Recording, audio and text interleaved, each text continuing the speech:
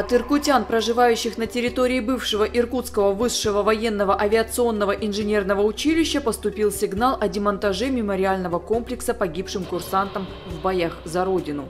Памятное место находится на территории, отведенной под строительство Суворовского училища, которое огорожено забором. Главный редактор газеты «Байкальская Сибирь» Сергей Королев посмотрел ход работ и убедился, что мемориал в сохранности. Более того, по словам представителей военно-строительной компании, которая ведет расчистку бывших учебных корпусов и Дома культуры, место под памятник выпускникам Высшего военного авиационного инженерного училища, павшим в боях за Родину, на плане Суворовского училища зарезервировано.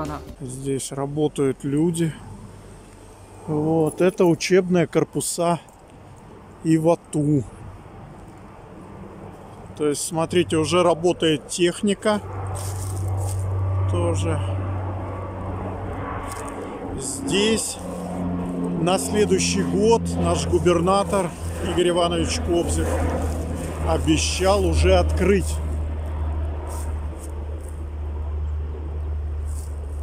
Суворовское училище. Вот те, кто говорили и писали нам о том, что разрушен мемориал. Вот, смотрите, мемориал не разрушен. Но, конечно, его нужно передавать в город и сохранять.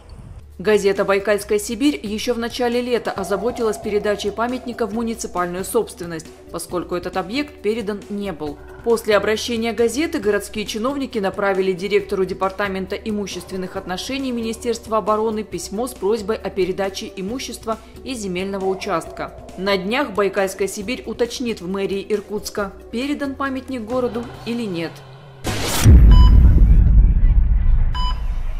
О сложном просто разложим все по полочкам. Честно и только от проверенных источников информации. О сути событий и настоящих причинах региональных проблем. Мы не молчали, не молчите и вы. Смотрите нас обязательно. Каждое воскресенье в прямом эфире.